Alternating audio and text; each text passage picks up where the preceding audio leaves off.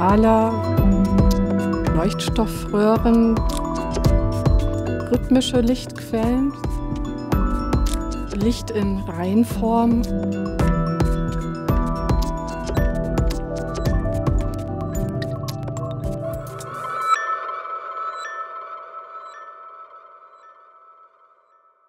Licht als Material für die Kunst ist eigentlich schon seit Anfang des 20. Jahrhunderts dabei.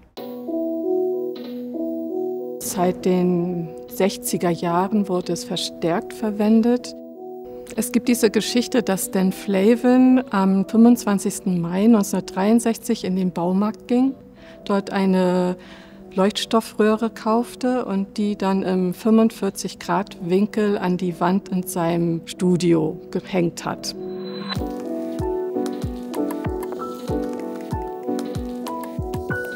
Manche ähm, Lichtquellen sind sehr nervös, also sie pulsieren, sind eher unangenehm zum Betrachten, während andere den Raum komplett eintauchen mit Farbe und andere sich eher so ganz flächig zurückhaltend bewegen.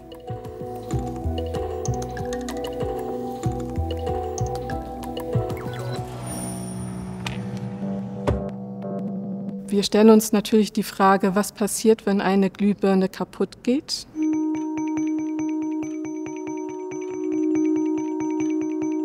Es kann sehr schwierig sein, Ersatzteile oder speziell Ersatzlampen zu beschaffen für die Werke weil diese Lampen einfach nicht mehr industriell hergestellt werden.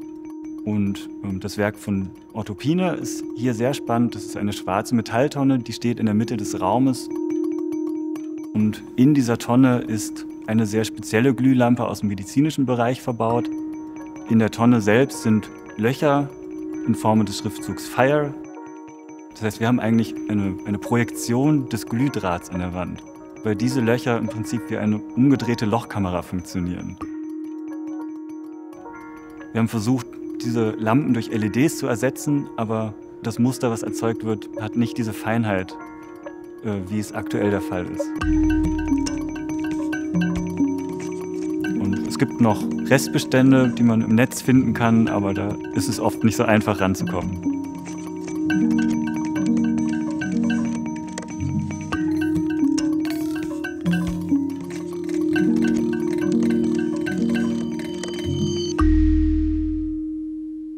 bei dem Werk von Noble und Webster. Sind so Spezialglühbirnen, die oft in Backöfen eingesetzt wurden. Jeweils über 200 Stück pro Dollarzeichen.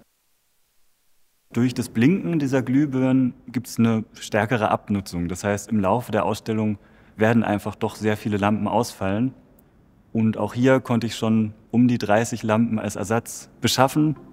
Aber hier bin ich noch in der Recherche weil das wahrscheinlich nicht für die Ausstellung reichen wird und bestimmt auch nicht für die nächsten 20 Jahre.